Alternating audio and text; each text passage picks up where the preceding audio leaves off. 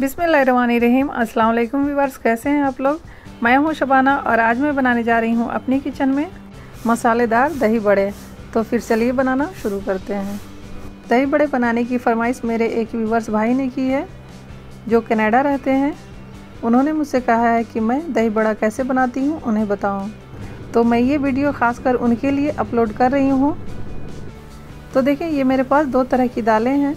एक मूंग की दाल है और एक उड़द की दाल है। मैंने इन्हें छः घंटे से भिगो कर रखा हुआ था। अब इसका पानी निकाल देंगे और मिक्सर ग्राइंडर के अंदर डालकर इसका एक फ़ाइन पेस्ट बना लेंगे। तो देखें पेस्ट मैंने बना लिया है। अब इसे एक बड़े से बाउल में निकाल लेंगे और फिर इसे दो से तीन मिनट तक अच्छे से फेंट लेंगे।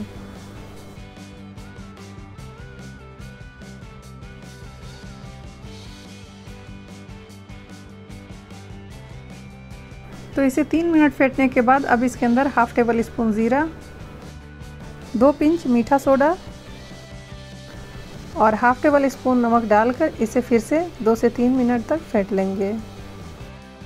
आप इसके अंदर one tablespoon green chilli paste भी डाल सकते हैं। इसे फेंटना बहुत ज़रूरी है, तभी बड़े हमारे स्पंजी बनेंगे। बैटर हमारा अच्छे से फिटा है कि नहीं, इसे जांचने के लिए थोड़ा सा बैटर लेंगे और ठंडे पानी के अंदर डाल देंगे। जब ये ऊपर तैरने लगेगा तो समझे कि बैटर के अंदर एयर अच्छे से डेवलप हो गया है और ये परफेक्ट है।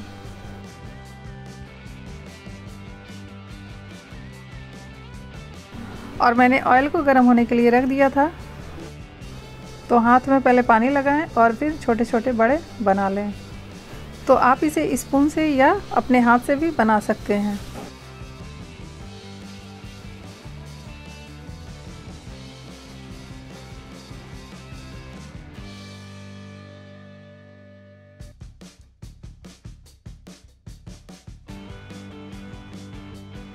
तो बड़े हमारे फ्राई हो चुके हैं, अब इन्हें बाहर निकाल लेंगे। और बचे हुए बैटर से फिर से बड़े बना लेंगे।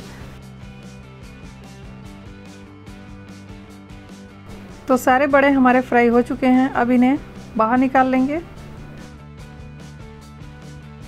और अब सारे बड़ों को एक साथ ऑयल के अंदर डालकर दोबारा से फ्राई करेंगे। इसका रीज़न ये है कि जब हम इसे पानी के अंदर डालेंगे और निचोड़ेंगे तो ये फटेगा नहीं।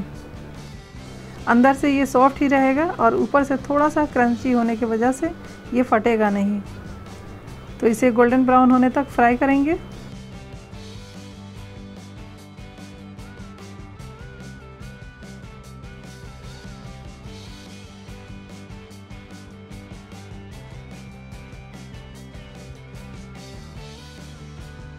और फिर इसे निकाल कर ठंडे पानी के अंदर डाल देंगे।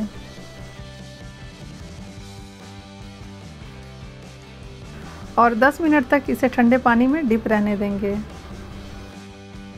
और ये मेरे पास 400 ग्राम होममेड दही है।